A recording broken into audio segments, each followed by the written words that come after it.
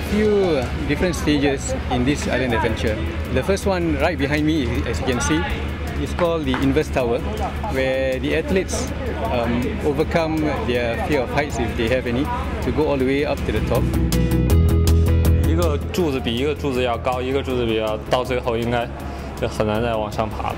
Because when you get the logs, you kind of feel tired. You got, you just got to push yourself. I was a little bit scared when I go on the top. Uh, it's fun.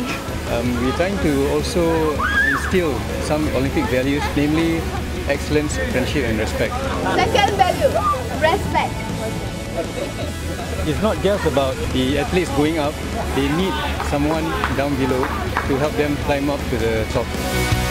一个人是完成不了的嘛，需要两个人的团队合作，完了之后在互相帮助的情况下才能爬到最顶端。The other two activities um, are the water activities. Uh, one of them is the raft building activity.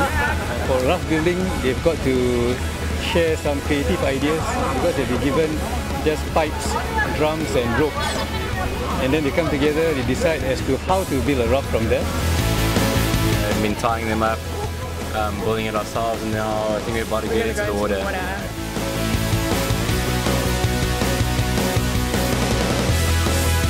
I'm really impressed with the rafts. I've been getting involved with some of the, the guys making their rafts.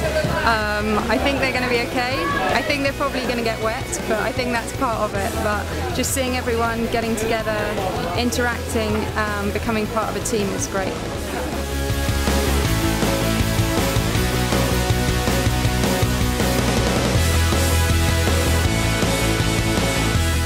Just really good. They're having fun and learning about the Olympics and what it is to be an Olympian. Teamwork is everything. It's really challenging, but a good achievement. Thanks Singapore, we're having a lot of fun.